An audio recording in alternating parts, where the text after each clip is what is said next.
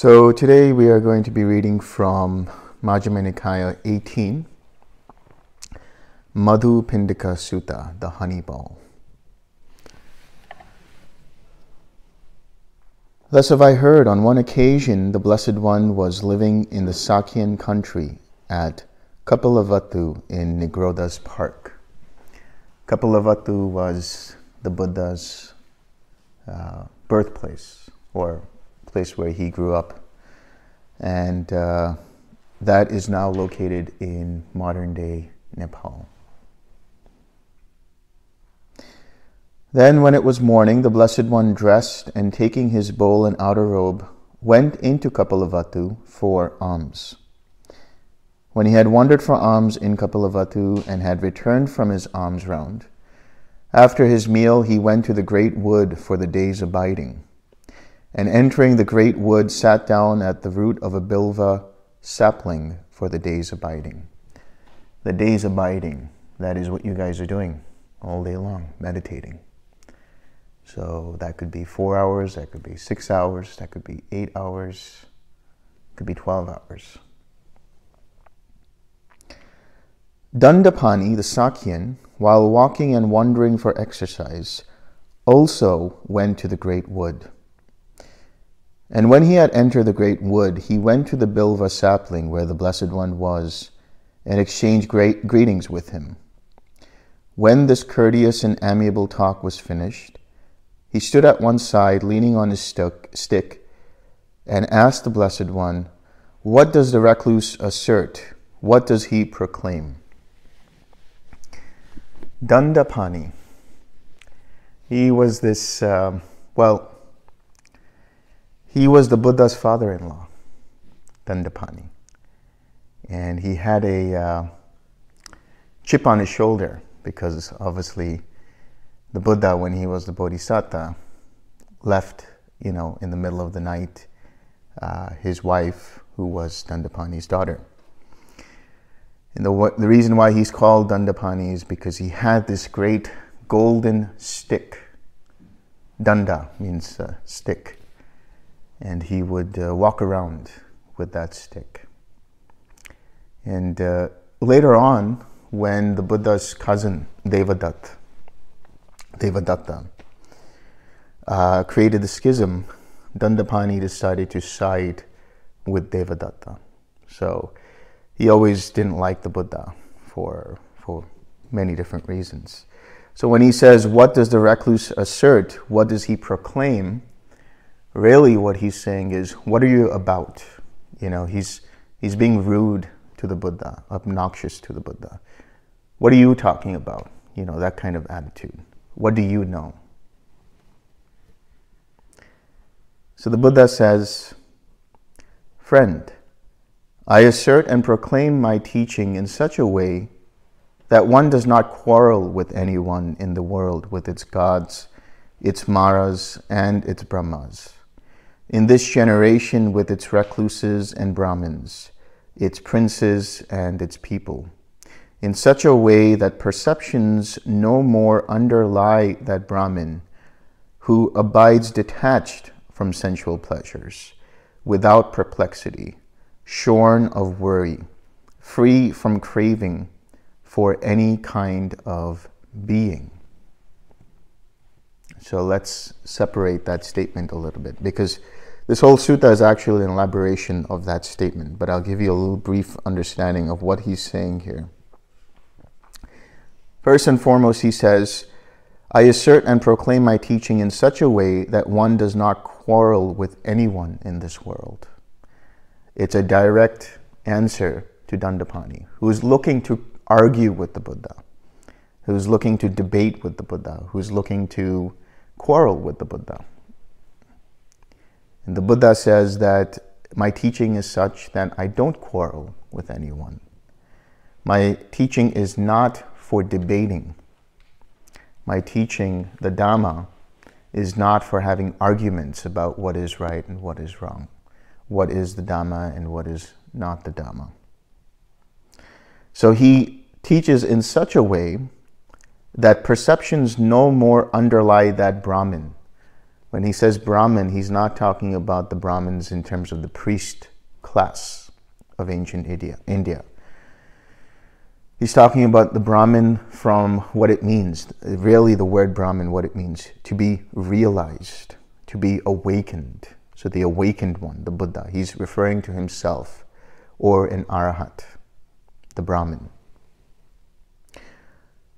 So the perceptions, the sensual perceptions, or let's say the perceptions in general, no more underlie that person who abides detached from sensual pleasures he no longer has sensual craving. Without perplexity, he no longer has doubt, the fetter of doubt. Shorn of worry, he no longer has any kind of restlessness. And free from craving for any kind of being. So, this is just a summation, a summary of having destroyed all ten fetters.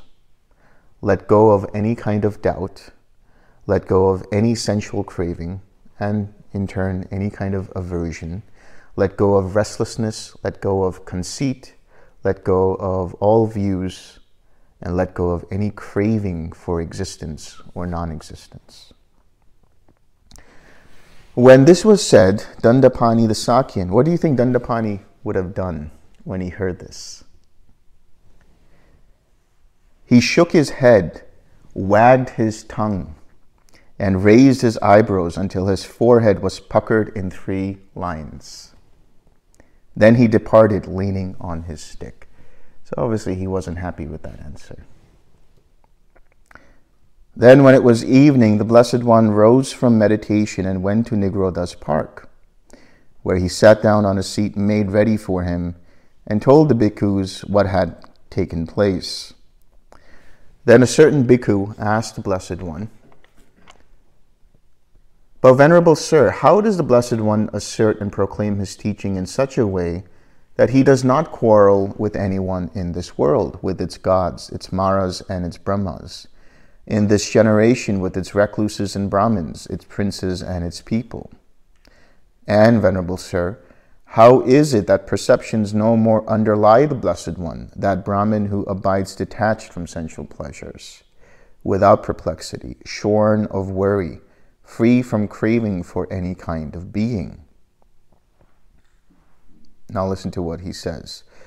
Bhikkhu, as to the source through which perceptions and notions born of mental proliferation beset a person, if nothing is found there to delight in, welcome and hold to, this is the end of the underlying tendency to lust of the underlying tendency to aversion, of the underlying tendency to views, of the underlying tendency to doubt, of the underlying tendency to conceit, of the underlying tendency to desire for being, of the underlying tendency to ignorance.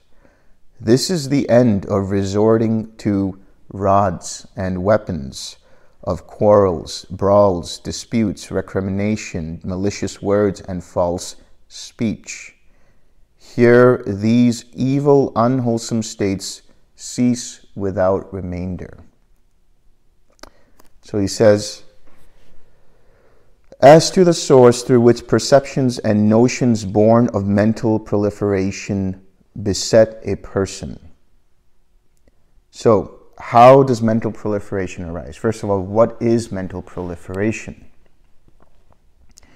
Mental proliferation is that example that Venerable Metananda gave us yesterday, where he was thinking about something and then it led to another thought, and then it led to another thought, and then it led to another thought, and now you're all over the place. You're clinging to this idea, you're clinging to that idea, and you want to do this and you want to do that, and then there's bhava, and then that could lead to some kind of birth of action. So mental proliferation is three part. It's the initial craving that arises, right? So that craving that we talk about, the link of craving, that arises dependent upon feeling. So that craving can be sensual craving. You hear something and that triggers a memory, and then you cling to that memory. So that's the clinging. and you think about that memory and you say, oh, yeah, I was this in that memory, or I wonder what would happen if we did it differently. You know, all of these thoughts that arise. So that's the bhava, that's the becoming. Or it could be craving for existence or craving for non existence.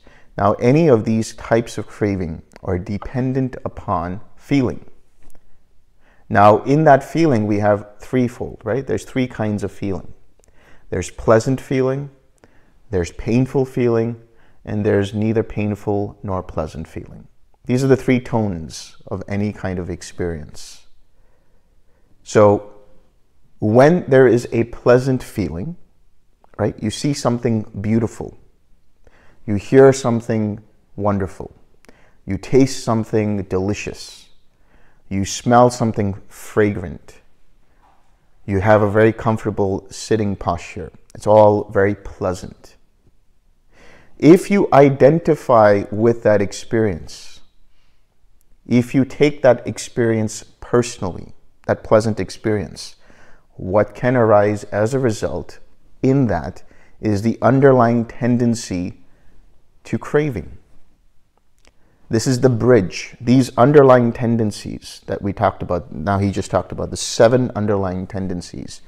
These underlie an experience, pleasant, painful, or neutral. So if it's pleasant, it can give rise if you identify with it.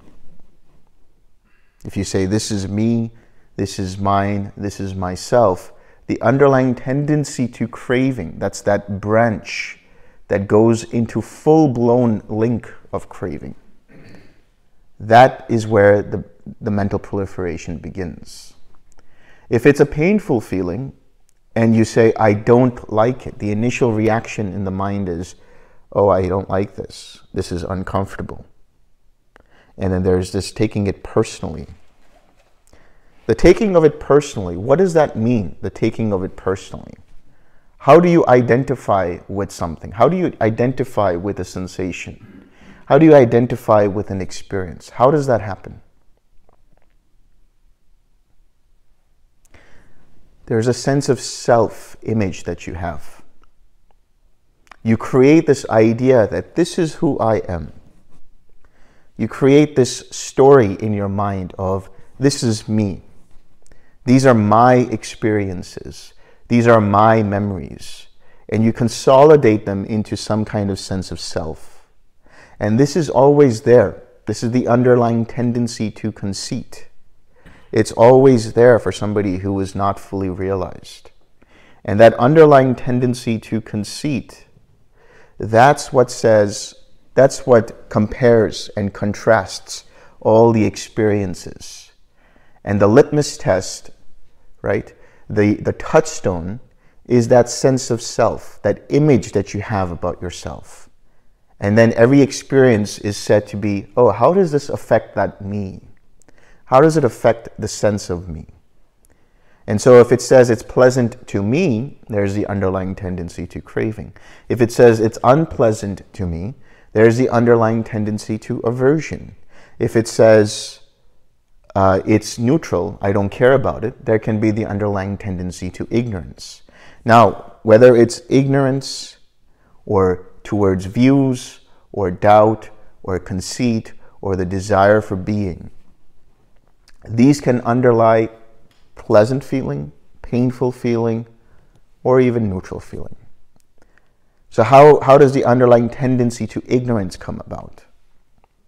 The very fact that you take this thing personally, this experience personally, whether the experience is a sensory experience, whether this experience is a meditative experience, whether this experience is, you know, some imagination in your mind, whatever it might be. When you have that sense of self, that intrinsic sense of self, of taking it personally, that is where the conceit, the underlying tendency to conceit is. Dependent upon that, depending upon what kind of feeling it is, there can be the underlying tendency to ignorance. What is ignorance? Ignorance is not being aware of the Four Noble Truths. Forgetting to 6R. Because what are the Four Noble Truths? That there is suffering, that there is a source or origin of this suffering, that there is a cessation of that suffering, and that there is a way leading to the cessation of that suffering. Now, you have a pleasant feeling, or you have a hindrance that arises. You take that hindrance personally and you say, you judge yourself and you say, why am I feeling this sensual craving? Or I don't like that I'm feeling this way. Or I don't like this particular hindrance. And now you have mental proliferation. You have self doubt, which creates more self doubt. You have restlessness, which creates more restlessness every time you take it personally. But if you recognize the hindrance, that is recognizing the first noble truth of suffering. This hindrance is the suffering. And then you release your attention from that. The undue attention to that hindrance in the form of clinging to it, in the form of wanting to push it away, in the form of taking it personally. That is the source of that hindrance. That is the source of that hindrance staying there. The undue attention feeds that hindrance further. So that is a type of craving, that reactivity to that. You release that, you relax. When you relax, your mind becomes free of any kind of craving. So it experiences the third noble truth of the cessation of craving, which is the cessation of suffering. Then you come back to the smile, and then you come back to the object. This coming back to the smile, coming back to the object, is the fourth noble truth the cultivation of the way leading to the cessation of suffering. That is the Eightfold Path. Because the six R's is right effort. And right effort is the core of the Eightfold Path. It is through right effort that you go from the wrong view to right view, the wrong intention to right intention, the wrong speech to right speech, the wrong action to right action, the wrong livelihood to right livelihood, the wrong mindfulness to right mindfulness, the wrong collectedness to right collectedness. So using the six R's at the experience, whatever that experience is, if you notice that the mind is clinging to that experience, if you notice that the mind is becoming engrossed in that experience, identifying with that experience, you recognize that. Release your attention from that. Relax re-smile, and return back to that wholesome mindset. What about the underlying tendency to doubts? The underlying tendency to doubt is about doubt in reference to what is wholesome and what is unwholesome. What is the right path and what is the wrong path. So, if there is an experience, you might have confusion about what to do with that. That's the perplexity. Am I meditating Am I in the first jhana or am I in the seventh jhana? Am I experiencing equanimity? Do I have a hindrance? I wonder if I'm doing this correctly. Do I remember the instructions that were given? All of these kinds of thoughts, this is the kind of underlying tendency to doubt. Right? So there's an experience that you have in meditation and you think, wait, is this the right thing that I, I should be? Is this the loving kindness that they were talking about? Is this the equanimity that I'm supposed to experience? All of these are the, this is the hindrance of doubt. Right? So let go of that. Let the meditation flow. Stop trying to analyze what's going on. Stop trying to unnecessarily investigate what's going on. The true understanding of investigation of states is the understanding of what is present and what is not present what is present and what is not present. Meaning, you understand, okay, there is present right now doubt, or there is present right now craving, or there is present right now loving kindness. That's it. If there is doubt, if there is craving, if there is restlessness, you 6R and come back to your object of meditation. What about views, underlying tendency to views? These views are about, you know, self views. I am this, or I am that, or this is me, or this is mine. Right? This is related to conceit, but this is also related to self view and other kinds of wrong views. You know, you kind of you try to justify why is this there. You try to justify or analyze why is it present, why is it not present. Right? And then there's also underlying tendencies to view in terms of if something pleasant happened, you'll say, "Oh, I just got lucky," you know, or you'll you'll identify with it and say, "Oh, I I don't know how this happened." You know, there are these different kinds of views that arise in reference to feeling, in reference to perception, in reference to the world, and in reference to self. We'll talk about that when we talk about clinging to views, right? So it's a clinging to wrong kinds of view. Wrong kinds of view with the idea that this was fated to happen. That's a kind of wrong view. Or the wrong view that I have to do something about this by purifying my karma. That's an ascetic kind of view. Or there's nothing wrong with what I'm doing, even though you know it to be wrong. There's that little nudge in your mind that says, this is probably not what you should be doing. And you'll say, oh, it's no big deal. Nobody has to know. That's a different kind of wrong view because you think, oh, nothing really matters. There's no, there's no karma here. There's no cause and consequence here. That's a different kind of wrong view. So these are the different kinds of underlying tendency to views. what about the underlying tendency to the desire for being. The underlying tendency to desire for being. That's bhavatanha. That means the desire to exist in a certain kind of way. You have a pleasant feeling and you say, I hope this feeling doesn't stop. You experience loving kindness and you say, I hope I can stay with this loving kindness. As soon as the loving kindness fades away, you say, What happened?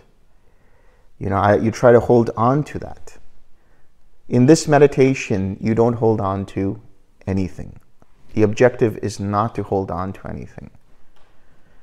The object of meditation is a is a is a means for your mind to be stable. It's a means for your mind to be collected, to be centered. So, which means that you're just using it to let your mind be collected, the unification of mind. Anything beyond that, where you try to hold on to the object, is a underlying tendency to desire for being. So joy comes up and you say, oh, the joy dissipated. I must be doing something wrong. Right? So let go of any attachment to how things should be or how things should not be. That's another kind of desire for being. Right? It's like, I don't want to be in this particular retreat, or I don't want to be doing this, or I don't want to be doing that. I don't want to be. That's the beginning of desire for non existence. So let go of attachment to any kind of experience in this retreat, make it a point to just allow experiences to flow without identifying with them. Be like that, you know, that audience who's just watching a movie, just playing out a movie. Don't get caught up in what's going on in the movie. The movie may be interesting, may be pleasant, may be unpleasant. You know, it might be a romance, it might be a drama, it might be a comedy, it might be a horror whatever kind of film it is, just watch it. Don't get engrossed in it. Right? It's just a movie. Just watch everything as it is without identifying with it, without supplanting that sense of this is me, this is mine, this is myself to that experience. Whether it's right now or whether it's when you're meditating, just let everything flow. As soon as you try to hold on to it, there the craving arises. That's the underlying tendency that gives rise to the full blown craving. And that craving then gives rise to clinging, and that clinging gives rise to becoming. And these three are, are what constitute that mental proliferation. Mental proliferation comes from the word papancha. prapancha or prapancha in excuse me in Sanskrit. And prapancha is also known as like a vortex. You're getting caught up in this vortex of thoughts, getting caught up in the hurricane or tornado of thoughts. Your, your goal here, your objective here is not to get caught up in the whirlwind, but to be in the eye of the storm. To be in the eye of the storm, you become very still. Everything else around you moves, but your mind doesn't go here, there, or whatever it's doing. It just stays here.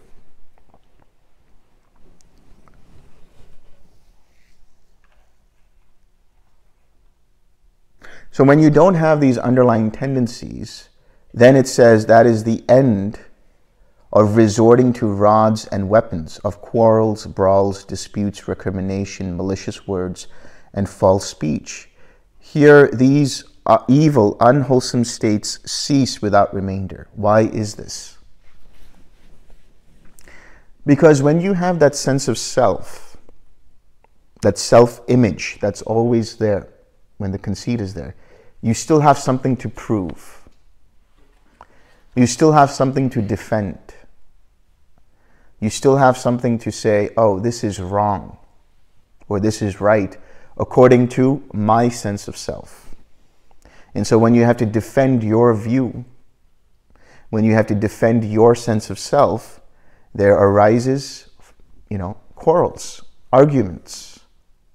And from that sense of self, there can arise even violence, right? Taking up of the stick and sword, as he puts it. Or with that sense of self, you have something to prove or you have something to gain from that sense of self. And sometimes you'll use deceit to get that. And so you use false speech. So, this sense of self, this self image that you have, Try to figure out what that is. Write down in your, you know, in your journal at some point and think, what is myself? Who is this that I am? That I think I am? And write it all down. And realize that in that in those moments you are not that. It just arises and passes away. The idea of who you think you are is just a little fragment. It's just a little frame in an ever moving series of frames. But as soon as you hold on to that, as soon as you make that concrete, as soon as you freeze that frame, that's where the trouble begins. That's where you defend some sense of self. That's where you identify with some sense of self.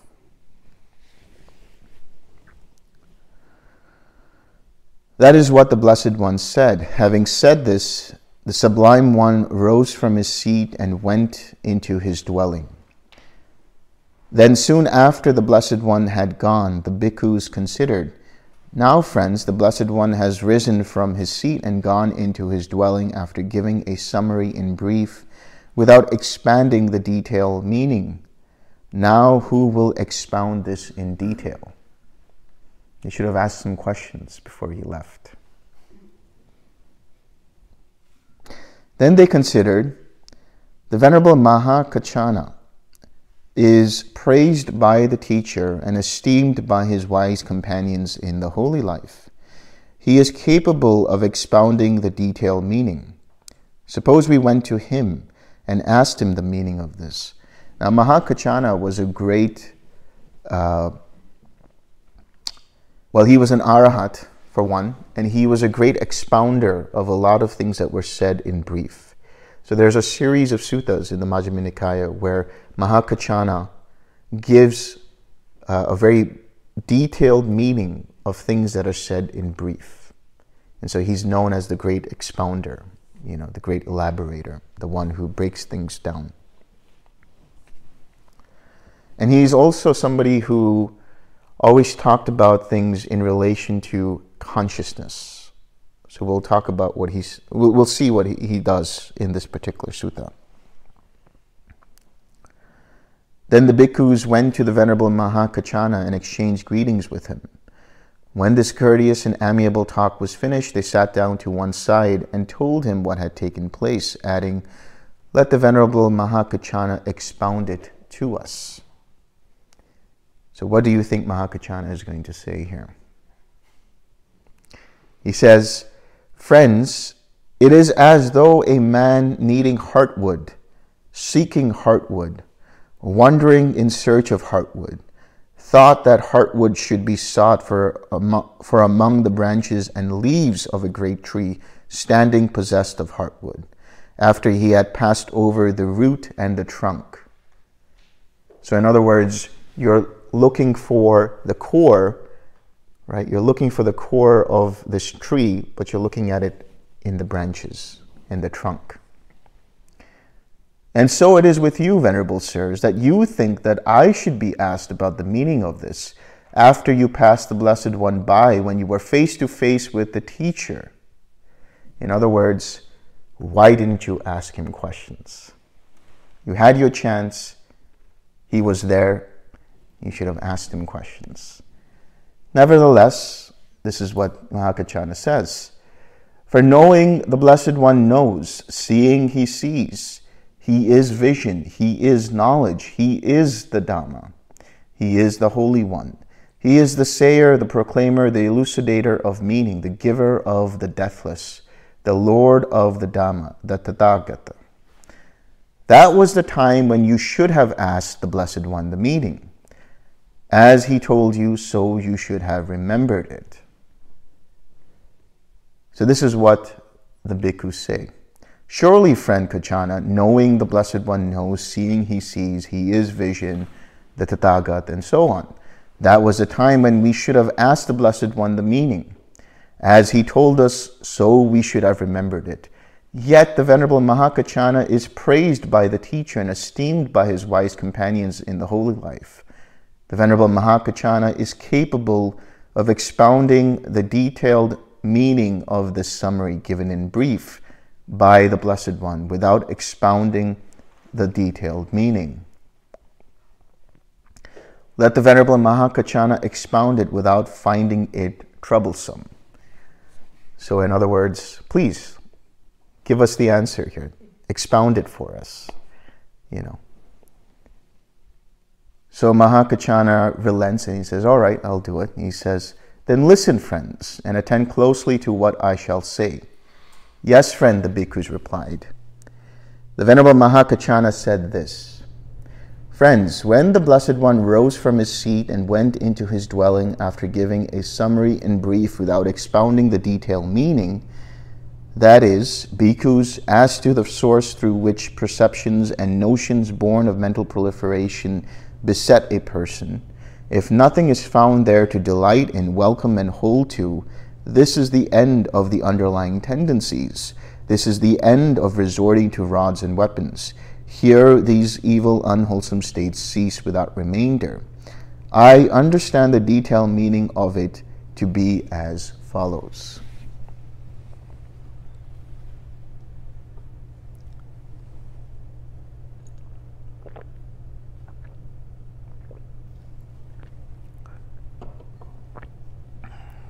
Now listen carefully. Dependent on the eye and forms, eye consciousness arises. The meeting of the three is contact. What, with contact as condition, there is feeling. What one feels, that one perceives. What one perceives, that one thinks about. What one thinks about, that one mentally proliferates. With what one mentally proliferated as the source, perceptions and notions born of mental proliferation beset a person with respect to past, future, and present forms cognizable through the eye. Let's break this down. Dependent upon the eye and forms. So there is the eye, and there are colors and shapes and patterns and forms. The light bounces off these patterns, these shapes, these forms. And then that light, those photons, hit the retina in the eye. So, dependent upon the eye and those forms, there is eye consciousness. What is eye consciousness? That is to say, the eye consciousness.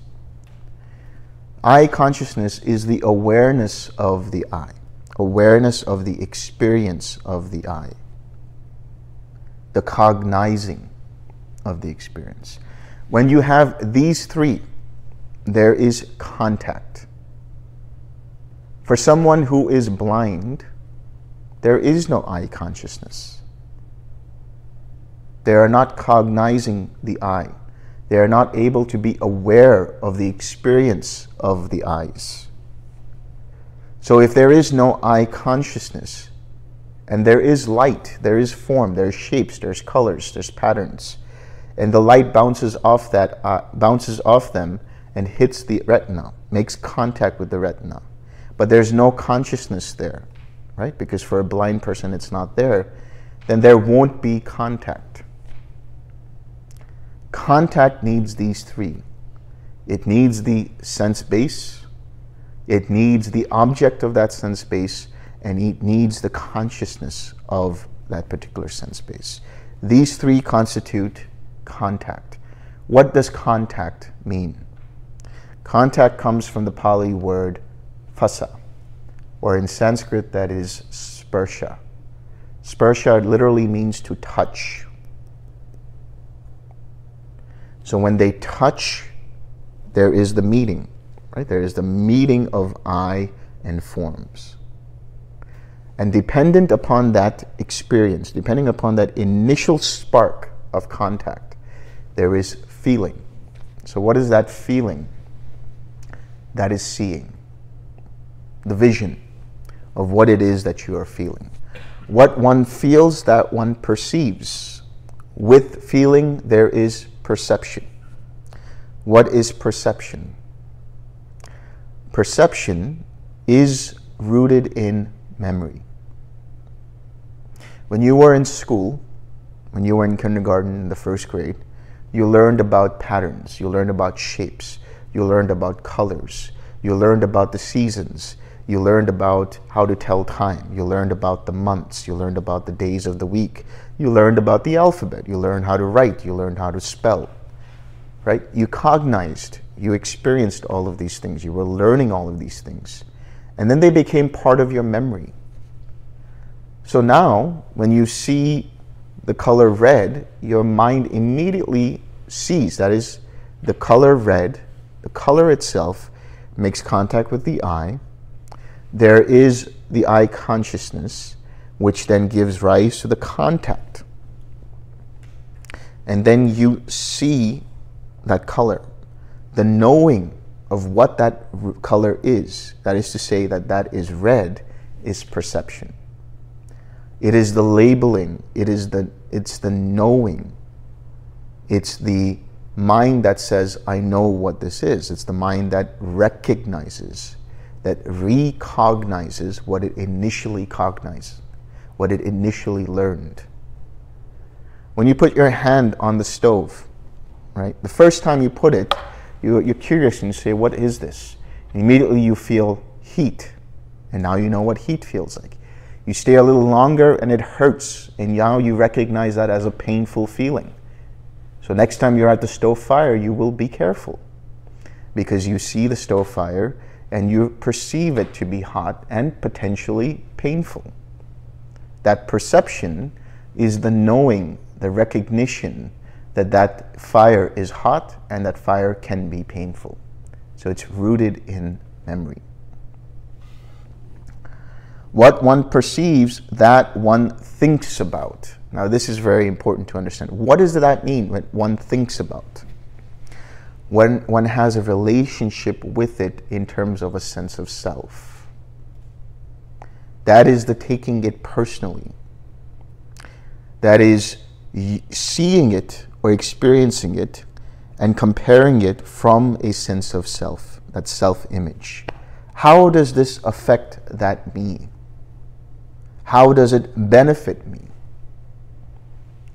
Is it mine? Is it me? Is it myself? That is the thinking about it. That's the underlying tendency. And so, what one thinks about, that one mentally proliferates, that there is craving there, there is aversion there, there is clinging. There's clinging to views, clinging to that experience, clinging to a self view, right?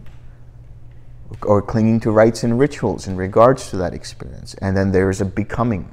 You identify with that further and then create the sense of self from which you react. This whole process happens like that. But that is the process that is mental proliferation. In meditation, that process seems to slow down because you become more mindful.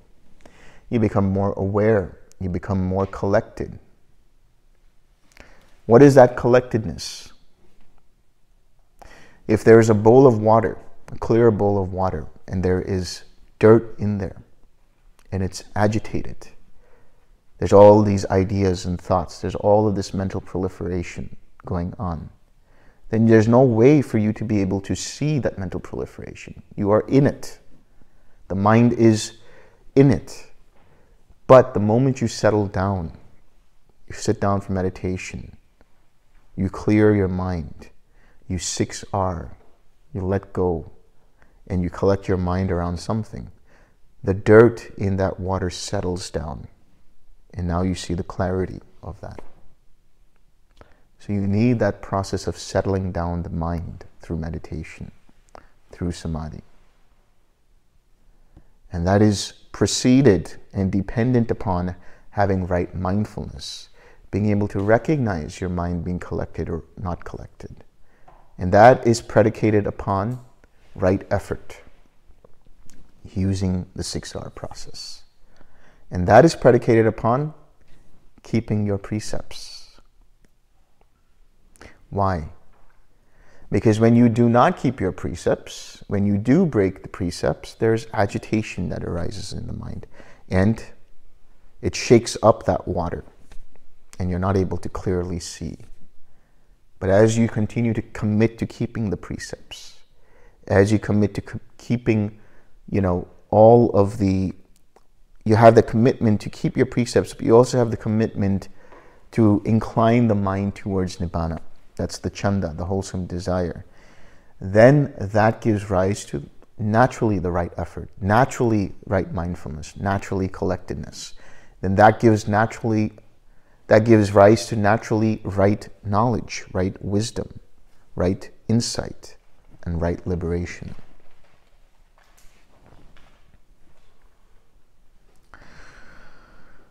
So, with what one has mentally proliferated as the source, meaning whatever you've thought about, you've clung to, you've craved for, you've clung to, you've become that.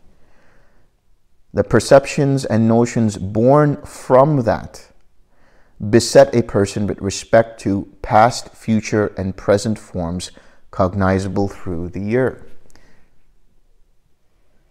So, in other words, you relate to the sense of self in relation to the past, in relation to the present, in relation to the future. How does that happen?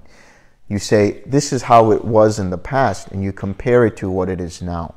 Or when you are staying in the present moment with the sense of self, you say, This is who I am, or this is mine, or this is me. And then when you think about into the future, that can give rise to anxiety. How will it affect me? Will it be good for me? Will it be bad for me? How should I plan this? How should I do that? All of these kinds of mental proliferation arise.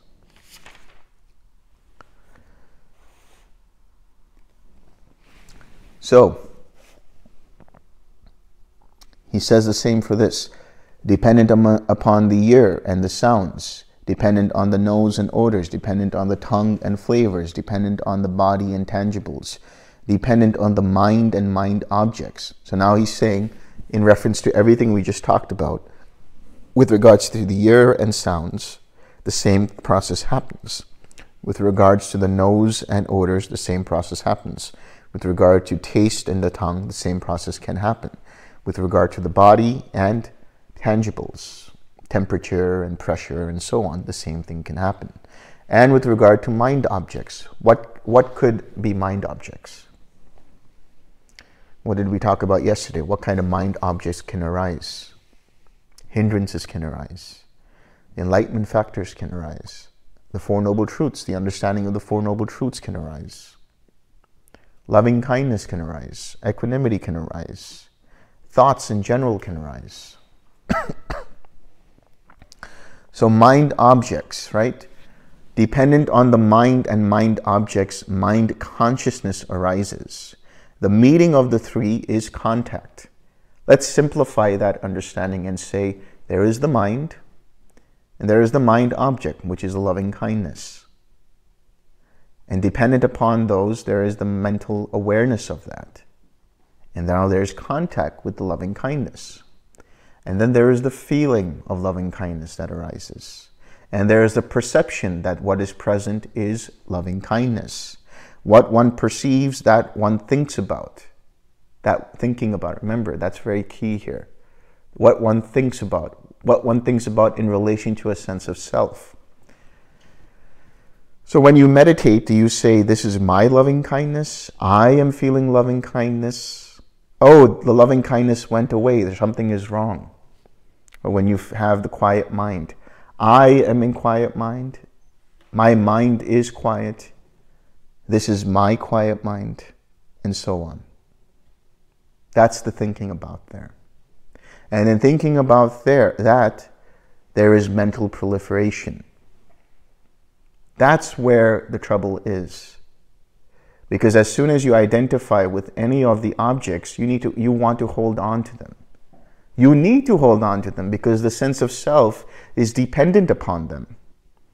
And it feels like it needs to cling to it. It feels like it needs to survive. Its survival depends upon it. So you feel terrible when it goes away. You have agitation when it goes away. But if you just see everything as an impersonal process, even the meditation objects, even the process of meditation, then it's like just watching a movie. You don't get so engrossed in it. You realize, oh, I'm just watching all this happening. This happens through that metacognition. You're just watching mind have an experience. You're watching mind meditate. You are not meditating. You are not the meditation. You are not the meditator. There is just an obser- observation of mind experiencing loving kindness. There is an observation of mind being quiet. There's an observation of mind being in the signless collectedness of mind. There is an observation of mind being equanimous, being joyful, and so on. This is true meditation, true mindfulness.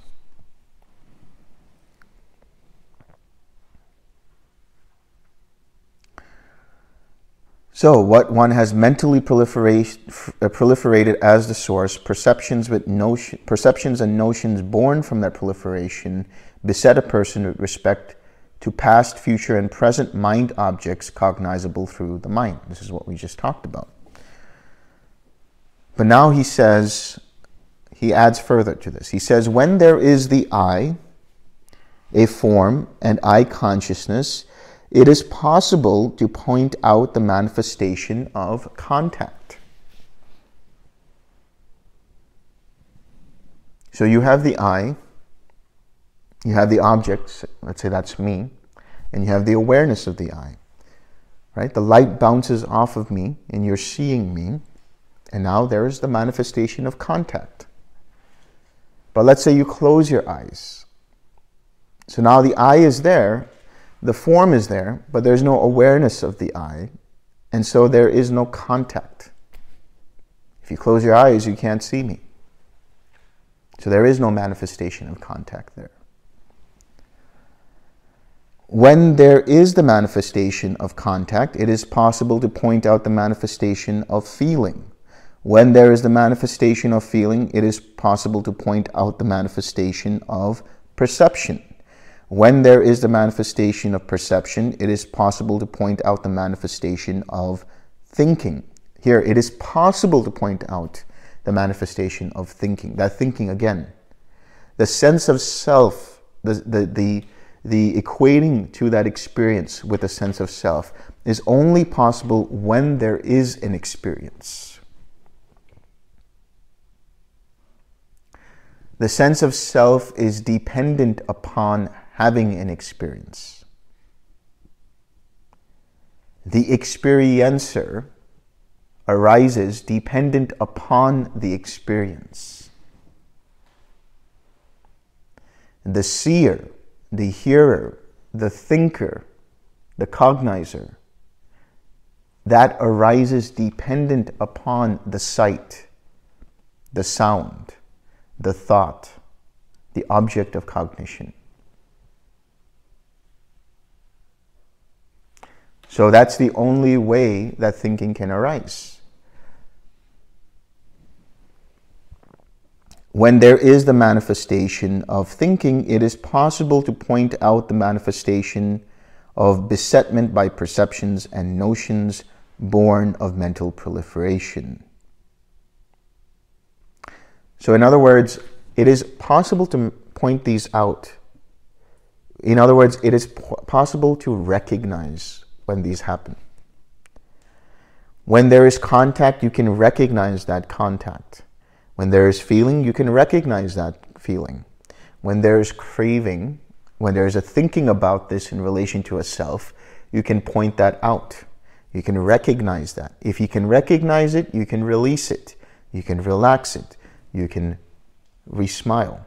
You can return back to an object that is wholesome, not identified with a sense of self. So, in other words, you can recognize contact, you can recognize feeling, you can recognize perception, you can recognize craving and aversion, you can recognize clinging, and you can recognize becoming. And of course, birth of action and the whole mass of suffering. If you can recognize these things, you can let go of them up, up to a point, up to the birth of action. And I'll talk about that when we talk about dependent origination. Yeah. Um, I have embarrassment arising right now. Oh. My bladder feels like it's about to burst. Yeah. Can I use the restroom? Go ahead.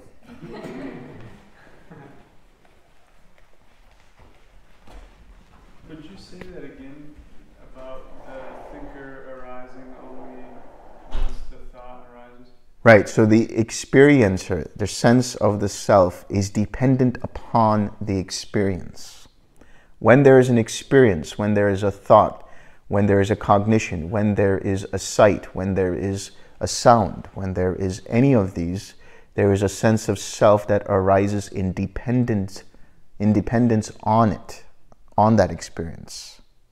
In other words, the mind is prone to superimpose a sense of self to the experience.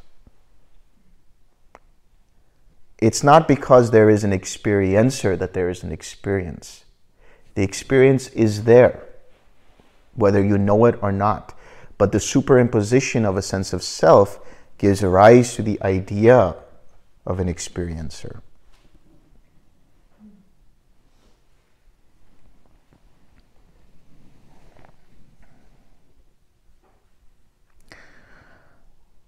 Now he says, when there is no eye, no form, and no eye consciousness, it is impossible to point out the manifestation of contact. That makes sense, right? If the eye is not present, but there's forms, and there won't be any consciousness, there can't be any contact. When there is no manifestation of contact, it is impossible to point out the manifestation of feeling. When there is no manifestation of feeling, it is impossible to point out the manifestation of perception. When there is no manifestation of perception, it is impossible to point out the manifestation of thinking. When there is no manifestation of thinking, it is impossible to point out the manifestation of besetment by perceptions and notions born of mental proliferation. So, there's a couple of ways to understand this. One is the cessation of perception, feeling, and consciousness. when there is the cessation of perception, feeling, and consciousness, even though the sense bases are present, even though the sense objects, the objects of those senses are present, there is no consciousness, the link between the two to give rise to any kind of contact. And therefore, there is no rise of feeling or perception. So, when you are in the cessation, or when there is, rather, the cessation of perception, feeling, and consciousness, there can be no suffering. There can be no potential for suffering. That's the cessation of all conditions. There, the mind is unconditioned. And then when the mind is unconditioned, the first initial spark of when the mind comes back up, there is an experience of that unconditioned for that moment, that contact. And then there is the experience, there is that feeling born from contact with the unconditioned. Now, when that feeling arises, if there is a thinking about that experience, if there is a sense of self tied to that experience, of that joy and that relief someone might experience, the mind experiences after having experienced Nibbana, then there is mental proliferation. So then that means some of the fetters are still present. Some have dropped and some are still present. When there is no thinking about the experience and there is just the experience, then the fetters drop because there's no conceit there. And dependent upon that conceit, the restlessness goes away, the craving for existence goes away, the ignorance goes away.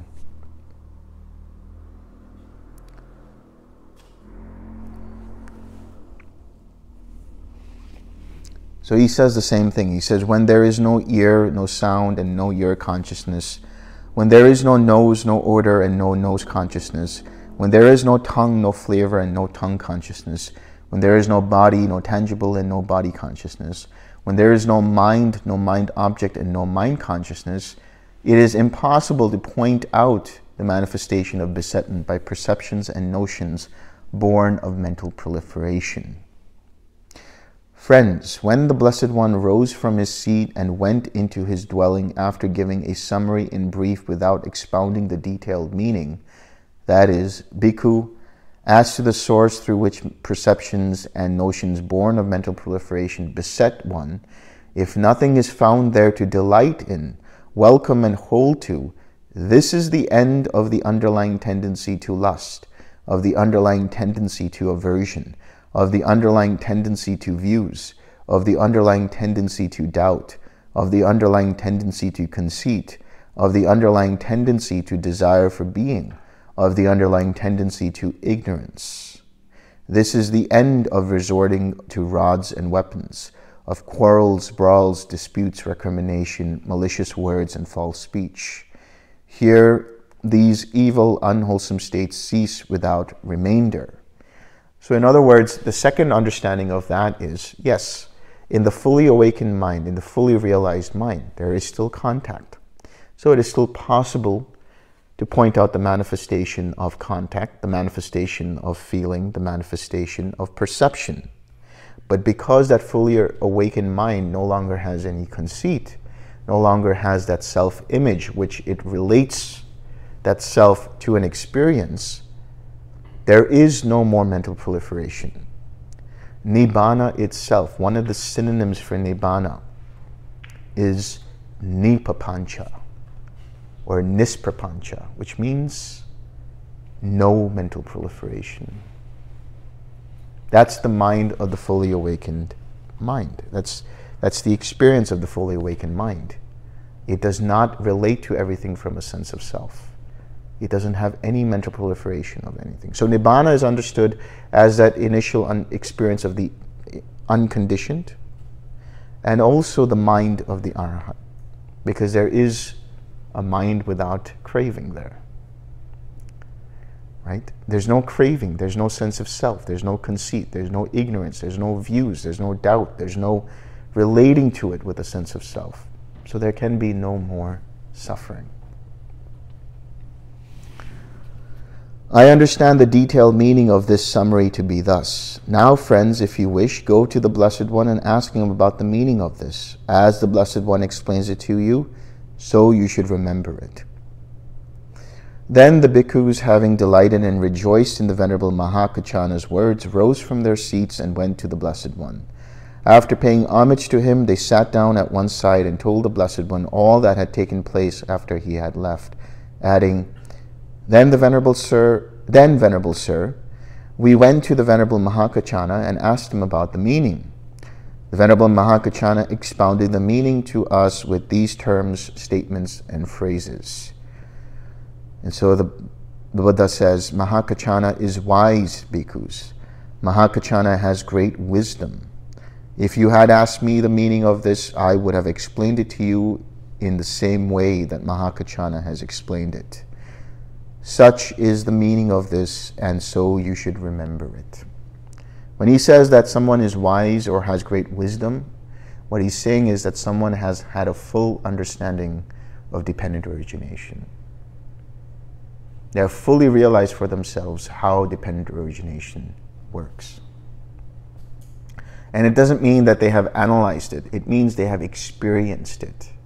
When they have seen it, it means they have actually understood it through experience of how the links of dependent origination arise and pass away. And so from that experience, they become wise. And they have a great wisdom.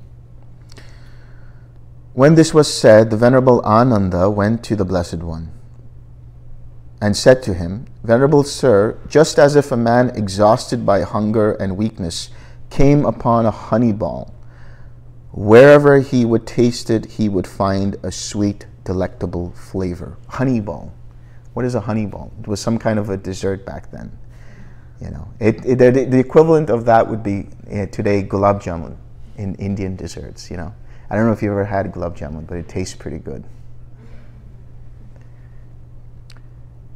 So too, Venerable Sir, any able-minded bhikkhu, wherever he might scrutinize with wisdom the meaning of this discourse on the Dhamma, would find satisfaction and confidence of mind. Venerable Sir, what is the name of this discourse on the Dhamma? As to that, Ananda, you may remember this discourse on the Dhamma as the honey ball discourse. That is what the Blessed One said. The Venerable Ananda was satisfied and delighted in the Blessed One's words.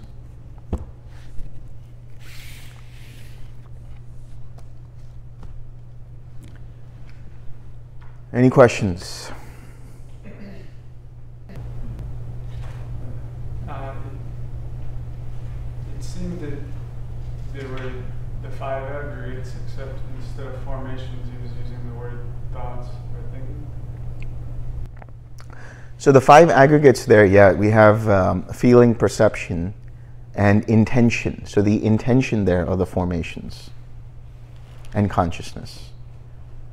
So body obviously is there and so on. But the, the five aggregates are actually at the level of mentality materiality, nama rupa, which are the faculties through which the process of contact can happen, the process of feeling can happen, the process of perception can happen, the process of intention can happen.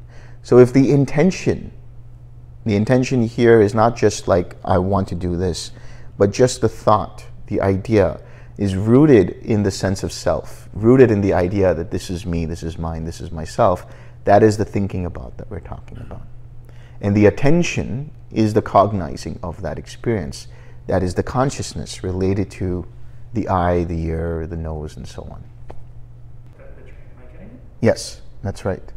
So the, the, the, the stopping of the flow of mental proliferation is facilitated by using right effort which are the six R's, which is recognizing that there is proliferation, recognizing there's an identification with this experience, releasing your attention from it, relaxing, and then resmiling and returning.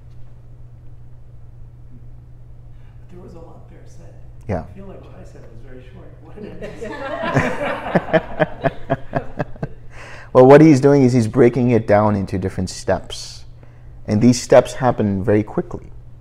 So the steps that he was breaking it down into was the contact, right? So you the, the initial spark of the eye and the form, the feeling, the actual experience of seeing whatever it is that you're seeing, and then the perception, which is the cogn- recognizing or recognition of what it is that you're seeing. Like if I'm seeing the color red, I'm recognizing that that's red. And then I think about it and I say, oh, I, I like red. Red is my favorite color. Or I don't like red. And then that, that whole idea of identifying with that experience is the thinking about. Yes, because one is that you realize that this is all impersonal.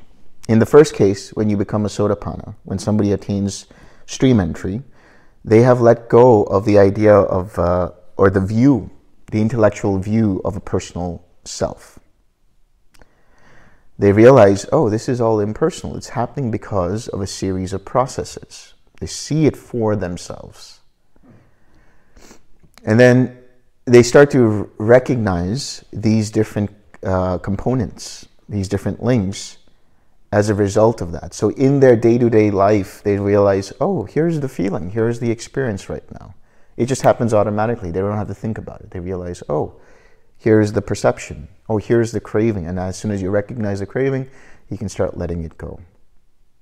And as you get through each of the attainments, it becomes clearer and clearer and clearer. And so as it becomes clearer and clearer and clearer, there is reduced craving until there is no more craving, until there is no more ignorance, and there is no more suffering.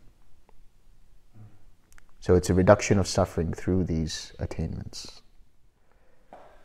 All right, let's share some merit. May suffering ones be suffering free. May the fear struck fearless be. May the grieving shed all grief, and may all beings find relief. May all beings share this merit that we have thus acquired for the acquisition of all kinds of happiness. May beings inhabiting space and earth, devas and nagas of mighty power, share this merit of ours. May they long protect the Buddha's dispensation. Sadhu, sadhu, sadhu.